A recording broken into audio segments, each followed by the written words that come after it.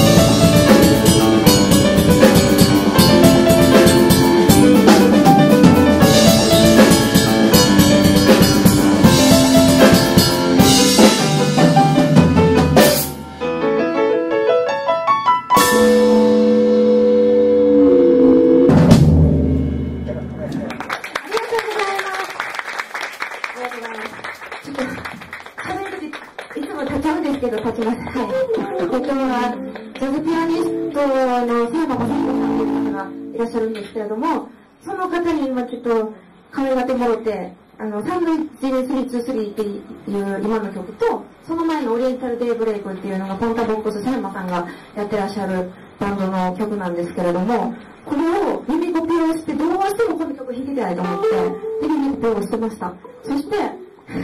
うーんとかいうところが全然弾かれへんし、この、分かれへんわと思ったので、佐山さんに、あの、ライブ見、佐山さんがね、ライブ見に行って、佐山さんがちょろちょろそこら辺動いてたから、佐山さんって言って捕まえて、あの、ここのフレーズがね、わからないんですっていきなり言っちゃったんですよ。どうしても聞きたくて聞きたくてしょうがなくて、はじめましてとかじゃなくて、佐山さんこれ聞きたいって言って、そしたら、あ、君、いいね、みたいになって、そこから、1年弱ぐらいのお付き合いですけれども、考えたって戻って、いろんな現場に連れて行ってもらっても、まあ、とてもとお話するんですけれども、だからこうやってね、西郷さんの曲も、ものクラウドファンでできるのもすごい嬉しいことでして、で、来年はちょっとオリジナル曲もどんどん作ってね、あの、アルバム制作とかにも取りで